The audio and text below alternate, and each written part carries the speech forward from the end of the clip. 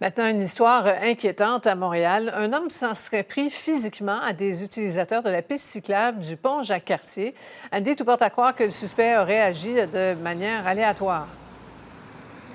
Il s'agirait effectivement, vraisemblablement, Sophie, d'agression gratuite. D'ailleurs, la plus récente est survenue où on se trouve pour vous en direct ce soir. 8h30. Donc, ce matin, vous avez des patrouilleurs de la Sûreté du Québec du poste autoroutier Quartier-Champlain qui ont procédé à l'arrestation d'un jeune homme de 18 ans sur la piste cyclable. D'ailleurs, vous allez voir des photos apparaître à l'écran si ce n'est déjà fait.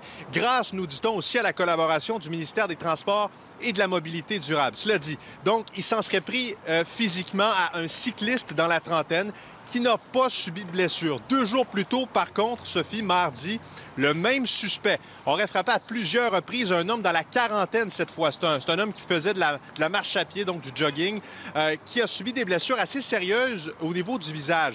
L'homme arrêté ce matin, donc comme je disais un peu plus tôt, maintenant, il a été rencontré par des enquêteurs de la Sûreté du Québec. Ben, je dirais que c'est isolé pour l'instant, mais si, ça commence, si on commence à voir ça davantage, là, ça, ça peut compliquer notre vie, j'imagine. C'est sûr que ça fait toujours peur d'apprendre qu'il y a des gens qui euh, agressent d'autres personnes. Je pense que c'est jamais rassurant de savoir ça. Après, c'est rassurant de savoir aussi que les gens sont arrêtés. Donc, euh, j'espère que ça va pas se reproduire. Euh, J'ai fait ce chemin ici depuis deux ans à peu près. Jamais rien passe. Jamais, oui. Je marche toujours l'hiver. Il faut juste faire attention, je pense.